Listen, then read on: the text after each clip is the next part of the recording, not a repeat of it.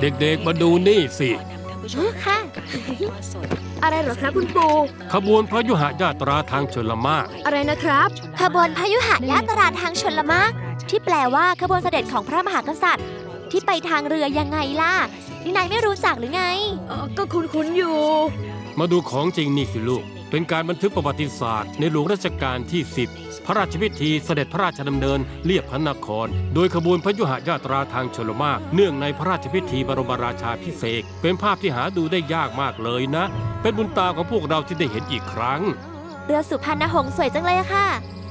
อืมทำไมพระองค์ไม่เสด็จทางรถยนต์ล่ะครับ แล้วก็เมื่อยด้วย ชีวิตจริงมันก็ไม่ได้พายเรือกันแบบนี้สักหน่อย เมื่อก่อนเรายังไม่มีรถยนต์น้ำเมฆเดินทางไปไหนมาไหนก็ต้องพายเรือกันไป เพราะสมัยนั้นถนนหนทางก็ยังไม่ดีเหมือนปัจจุบัน และการที่ท่านให้มีกระบวนเรือ ก็เป็นการสืบสานประเพณีวัฒนธรรมอันดีงาม นี่ถือว่าเป็นการรื้อฟื้นโบราณราชประเพณีที่สำคัญ และเป็นการจารึกประวัติศาสตร์บทสำคัญบทหนึ่ง ทั้งประวัติศาสตร์สถาบันพระมหากษัตริย์ ประวัติศาสตร์ของทหารเรือ ประวัติศาสตร์ศิลปะ และประวัติศาสตร์ในชีวิตคนไทยทุกคน เป็นพิธีที่หาดูหาทำยาก พระมหากษัตริย์ท่านทรงฟื้นฟูกลับขึ้นมา เพื่อให้ศิลปะภูมิปัญญาของคนโบราณยังคงอยู่ยังไงล่ะ เพื่อเด็กๆ อย่างตะวันกับเมฆจะได้ดูและก็ศึกษา คุณปู่คะขบวนพยุหยาตราทางชนละมากเนี่ย มีมาตั้งแต่เมื่อไหร่ล่ะคะ อืม ก็นานโขตั้งแต่สมัยอยุธยาแล้วล่ะ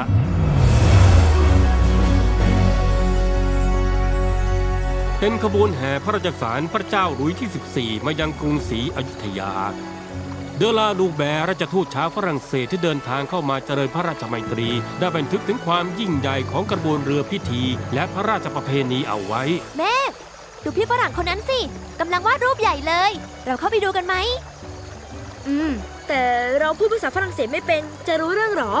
แค่ดูเฉยๆ ไม่เป็นไรหรอกนะ เอ้ย บะบะบังชู Bonjour. เออเออเออ be beautiful Hmm? Beautiful. เอ๊ะ ไม่ใช่เรือสุพรรณหงส์เหมือนปัจจุบันเหรอ เธอรู้ได้ไงว่าเป็นเรืออะไร ในแม่น้ำมีเรือลำอื่นตั้งหลายลแม่เห็นไหมล่ะ เรือลำนั้นน่ะใหญ่ที่สุดเลย และตรงกลางนั้นที่แห่พระราชสารจากพระเจ้าหลุยที่ 14 ส่วนลำนั้นเป็นเรือของราชทูตจากฝรั่งเศสนั่งมาำมิน่าชาวบ้านถึงได้ยกมือไหว้กันใหญ่ เจ้าหนูดูเรือท่านสิ งามเพลิดพลิงซะเหลือเกิน ลอยเลื่อนมาตามลำน้ำราวกับอยู่บนสวรรค์ชั้นวิมานเทียว พี่เขาพูดว่าอะไรอะ เขาบอกว่าเรือสวยมาก เหมือนกับอยู่บนสวรรค์เลย จริงด้วย กระบวนเรือพยุหญาตราทางชลมาก และเรือที่ใช้ในกระบวนเรือ แสดงถึงบุญญาบารมีของพระมหากษัตริย์ที่มีตกทอดมา และยังแสดงถึงความเจริญรุ่งเรืองถึงขีดสุดของงานศิลปะ และงานพระราชประเพณีของสังคมไทย ที่โดดเด่นเจริญรุ่งเรือง ไม่น้อยหน้าชาติใดในโลก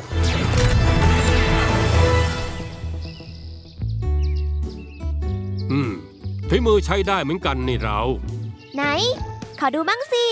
ไม่เอา ไม่ให้ดูอะ ขอดูหน่อยนะอืมนิดเดียวเอง เอ๊ะ มีเขียนอะไรเอาไว้ด้วยนี่นา เต็มเลย ยุ่งน่ะ นี่มันของส่วนตัวนะ เธอต้องได้รับอนุญาตจากเจ้าของก่อนสิ ถึงจะอ่านได้ ขอโทษ อืม เมฆคงจะเขินนะถ้าตะวันอยากอ่านจริง ๆ ลองขอเมฆดีๆ ตอนที่เขาอารมณ์ดีก็แล้วกันนะ ค่ะ เกือบไปแล้วมิล่ะ ผมดีใจที่ได้เห็นพระราชพิธีที่ยิ่งใหญ่สวยงามขนาดนี้เป็นหนึ่งเดียวในโลก ขณะฝรั่งเห็นยังยกนิ้วให้ เราคนไทยก็ควรจะภูมิใจช่วยกันรักษาของดีๆ เอาไว้ เพราะสถาบันพระมหากษัตริย์ทำให้ประเทศไทย มีประเพณีวัฒนธรรมอันยิ่งใหญ่ เป็นเกียรติยศของชาติ ทั่วโลกจึงนิยม นับถือความเจริญรุ่งเรืองของชาติเรานายคิดว่าฉันเขียนดีเหรอจะให้ฉันให้ตะวันกับคุณปูอ่านเหรอไม่เอาอะฉันเขิน เอาไว้วันหลังละกัน สัญญาสัญญา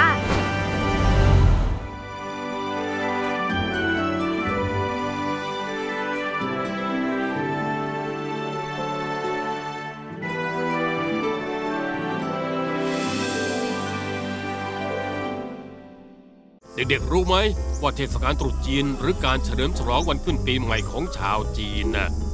ในประเทศไทยเนี่ยนะ มีมายาวนานเลย